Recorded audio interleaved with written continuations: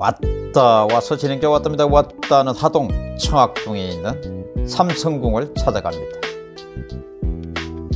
대전 통영강 고속도로에서 단성 IC로 빠져나가 청학동 삼성궁으로 가는 길입니다. 가는 길은 지금 보시는 것처럼 길의 양방향에 벚꽃나무가 가득 있습니다.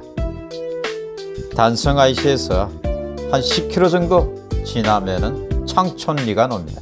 그 다음에 천평리가 외곡리를 거쳐서 시천면, 청안면, 묵계리까지 쭉 해서 청학동까지 갑니다. 이 도로에는 3월 하순부터 4월 초순까지 벚꽃나무가 만개해서 아름다운 벚꽃길을 만들어냅니다. 경남 하동 청학동으로 이어지는 지리산 자락의 긴 드라이브 코스입니다. 정말 아름다운 곳입니다. 지금 사실 일찍 핀 벚꽃들은 대부분 이제 떨어지고 늦게 핀 벚꽃만 남아 있습니다. 가다 보면 지금처럼 중간중간에 아직도 만개해서 자신의 아름다운 모습을 뽐내는 벚꽃나무들을 보실 수가 있습니다. 이 아름다운 벚꽃길을 만개한 상태로 보시려면 3월 말 이전에 가시는 것이 좋습니다. 아주 아름답습니다. 가는 길에는 터널이 한 3개 정도 나옵니다.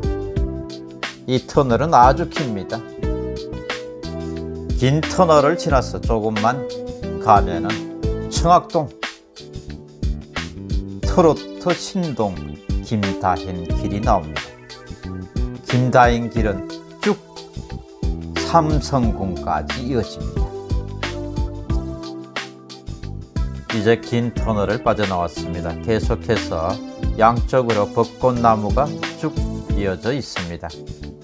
이곳 청학동 삼성공원 우리나라의 뿌리이자 시조인 환잉, 환웅 당군을 모시는 성전입니다. 이렇게 쭉 이어지는 벚꽃나무는 거의 삼성궁에 도착할 때까지 이렇게 나옵니다. 양쪽으로 계속해서 이어집니다. 정말 아름다운 길이자 드라이브 하기 좋은 곳입니다.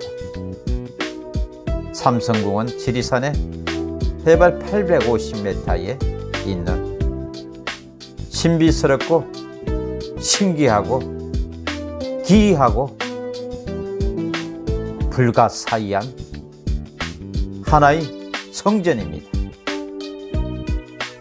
오늘은 경남 하동 지리산 청학동 자락에 있는 삼성궁으로 가는 길입니다. 가는 길에 거의 30km에 걸쳐 이렇게 벚꽃나무가 이어져 있는 아름다운 드라이브 길입니다.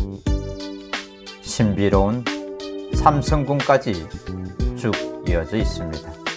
끝까지 시청해 주셔서 고맙습니다.